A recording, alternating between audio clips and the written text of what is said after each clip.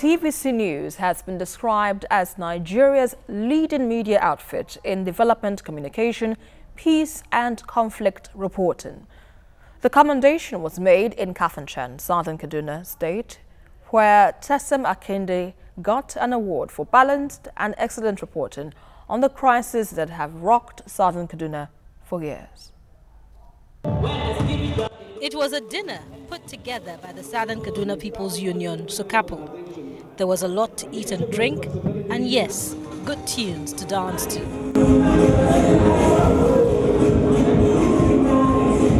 But the day wasn't for partying alone. The people of Southern Kaduna chose to also reward merit and hard work, and TVC was among those penned down to be so honored. The station and its correspondent in Kaduna, Tesem Akende, were noted for performing creditably whilst the region boiled.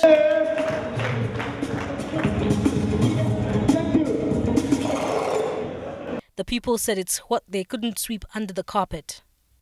TVC is one of the TV stations in Nigeria that they are not biased. They are always there with us. Each time we're being attacked, they are there to give hope to the hopeless.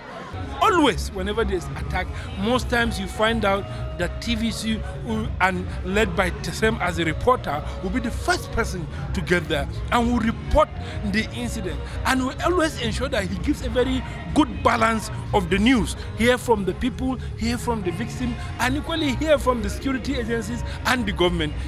Southern Kaduna has suffered attacks and counterattacks between armed herders and farmers for years. With Tesem leading the TVC team in the state, the region was brought into the spotlight. The team dared to visit evidently dangerous terrains, bringing stories to people's living rooms. And so, the day's award, according to many, was one well deserving. The world knew what was happening in southern Kaduna through your medium, and you brought the truth unbiased, objective, and fair. And I believe is deserving of award to encourage you to continue to do more. The award recipient was grateful for the honor.